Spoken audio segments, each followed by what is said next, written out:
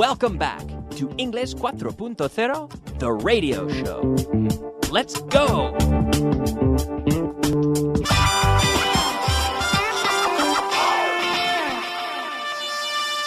Advanced. All right, welcome, welcome back. So we've made it through a full week of English 4.0. Welcome to week two, class number six. As always, we're going to start today with a little review of what we saw in the last class, right? And once again, I'm with a special guest. I have a special guest with me today, Isabel. How are you, Isabel? Fine. Hello, everybody. All right, and you were with us last week, so thank you for coming back again. You're welcome. So you you, you had so much fun last time that you decided to, to come back. To Is that right? back- Yes, that's Excellent. right. Well, we're we're we're definitely glad to have you. And uh, so we're going to start with a little review. We were looking at in the last class. We were looking at the verb to take. The verb to take when we're talking about you, he, she, it. So it takes me, it takes him, it takes her. It will take us three or four minutes to review this, probably. It will take us three or four minutes. Okay, it will t- it will take us yeah just a few minutes. It won't take too long. How long do you think it will take the the listeners at home to learn this structure? How long will it take them to learn this structure? Well, it depends on their level, but I think it will take them a few hours. A few hours, yes. But hopefully they've been studying, right? Because our our listeners our listeners take this very seriously and they study with their student guide at home, right? So maybe they've already mastered it and now it's just a little review and hopefully they're they're fine with the material, right? I hope so. I hope so too. Okay. So remember, what you have to remember is the subject here is it. How long will it take me to learn to cook paella? Because I would like to learn. How long will it take me to learn to cook paella, Isabel? It will take you two weeks. Two weeks. So ex- explain the process. What do I do? Every day I, I practice a, a paella every day, every day, and after two weeks I can finally do it well. Is that is that what you're saying? Yes, because it took me more or less two weeks. And now I can cook an incredible paella. Ah, if you want to taste it? I would love to taste it. I would love to taste it. Excellent. All right. Uh, now, how long did it take you to get here today? It took me 10 minutes to get here today. Okay. How long did it take you to get dressed this morning? Uh, it took me mm, 10 minutes. No, no, less time. Less than 10 minutes? yes, uh, five minutes. Okay. All right. How long did it take you to decide to come here? I mean, our, uh, someone from their studio, I, I didn't call you directly, but someone from the studio called you. Did you think about it? Did you hesitate? Or did you decide immediately? How, how long did it take you to decide to come here? It took me one second. One here. So it was an easy decision? Yes, because as I told you, I was looking forward to Ah, come here. great, great, great. Well, we were looking forward to having you as well. Now, um, how long did it take us to get ready for this show? How long did it take us? You and I. We sat down. We got, we got, we had to get ready. We had to get our energy levels up, right? We had to get ready. It took us five minutes. Five minutes to get ready. Drinking, drinking coffee and Red Bull to get Water. water only. That's right. The healthy, the healthy choice. How long does it take you to make orange juice, Isabel? it takes me three minutes.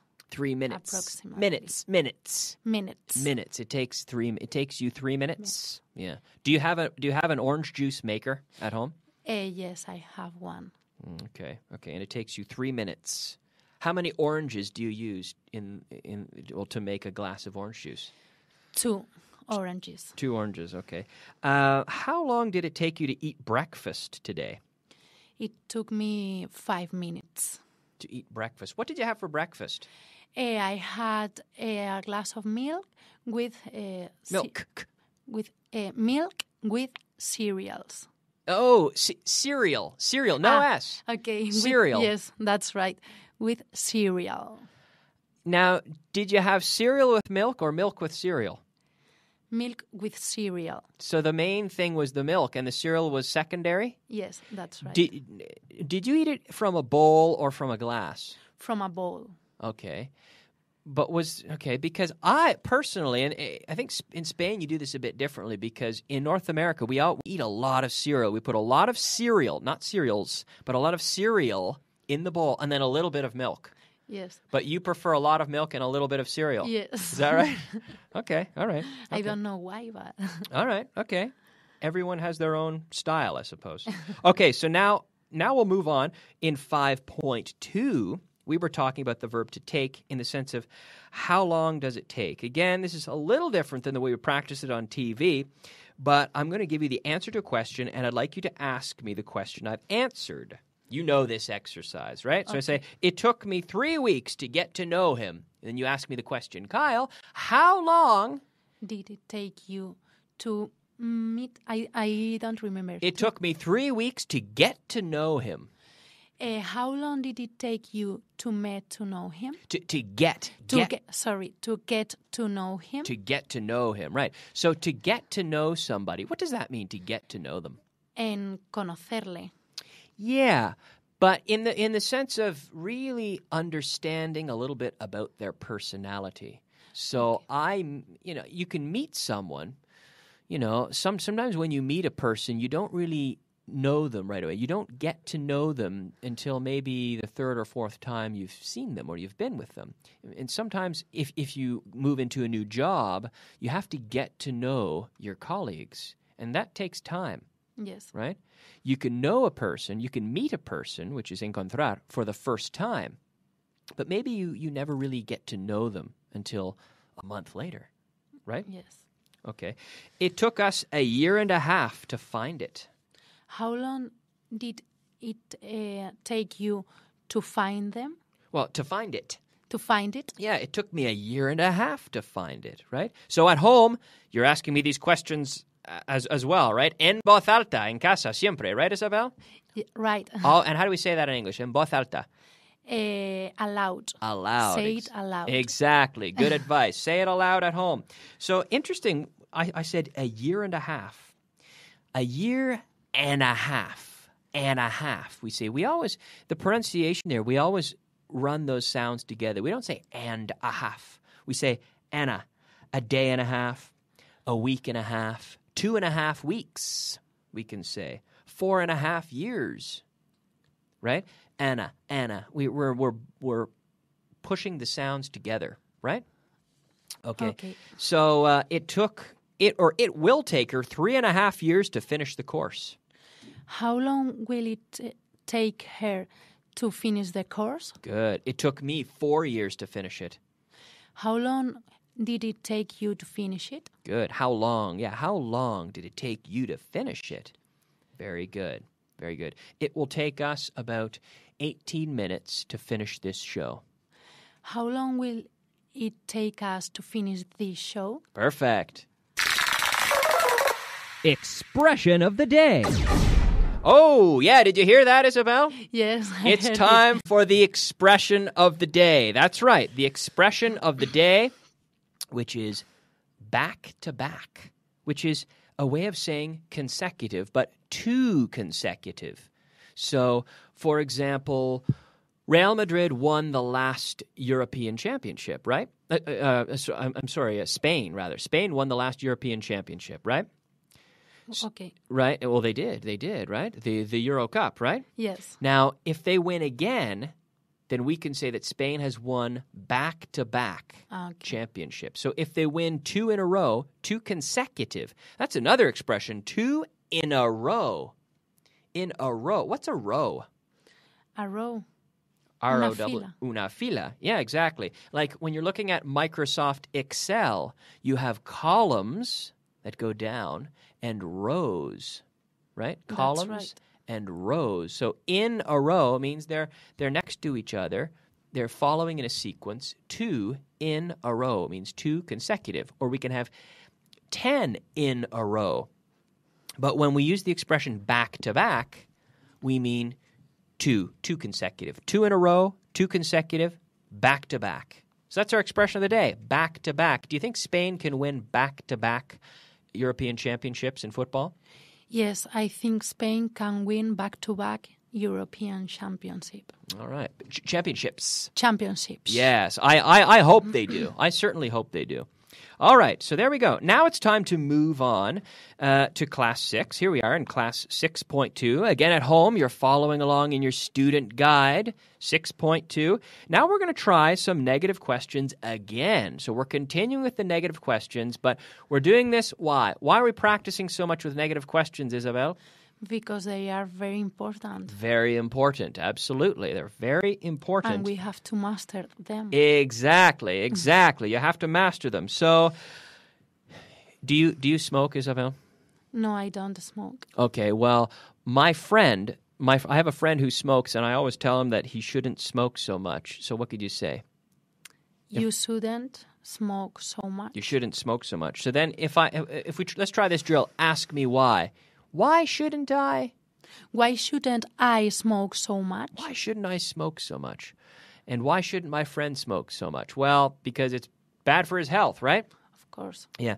Uh, you now you mustn't, you mustn't cause trouble, Isabel. Why mustn't uh, why mustn't I cause trouble? Why mustn't I cause trouble? Because if you keep causing trouble, we're going to have to throw you out of the studio. right? Okay. Okay. They won't be here. Why won't they be here? Good. She won't ask for help. Why won't she ask for help? Good, good. Now at home, at home, out loud, at home, you mustn't give up. Kyle, why mustn't I give up? Right? Why mustn't Right. I give up? You shouldn't quit. Why shouldn't I quit? Good. He wouldn't call her. He? He wouldn't call her. Why wouldn't he call her? Good, good, good. Pronunciation. What? All right. That's probably my favorite of all the jingles that we have, the pronunciation jingle. That means it's time for me to mention something interesting about pronunciation here, which me which which is this would, which is a problem for a lot of people to learn to pronounce that. Now you pronounce it very well because you've you've I can tell you've had some good English teachers over the last year or so, but um, That's true. it, but uh, but uh, a lot of people have problems with this wood wood. So the secret is the secret is you pronounce you can pronounce this w sound the same as you say huevo in in Spanish, right? Huevo, huevo, would, Okay. would, and it's this. wood. Yeah, again, again. Wood. Right. What now? What, what is this table made of, Isabel? This table is made of wood. Wood. Is it good wood or bad wood? It's um, me- good wood. It's good. It's good wood. It's good wood. Yes, wood, wood. So remember, think of the huevo, huevo. And we also have to remember that the L in the word would, the L is silent. We don't say would, but would, wood. So wouldn't, couldn't, shouldn't. okay. In all these cases, the L is silent. Okay? Okay. So repeat with me at home. Wouldn't. Wouldn't. Muy bien. En voz alta. Couldn't. Couldn't. And shouldn't. Isabel? Shouldn't. Shouldn't. Shouldn't. Shouldn't. Didn't. Shouldn't. Okay, but be careful with that D. Your tongue has to stay inside your mouth. Shouldn't. Okay. Didn't. Shouldn't. That's it. Shouldn't. Okay. So a few more. Ask me why. It won't be easy. Why won't it be easy? Good. It couldn't be more fun.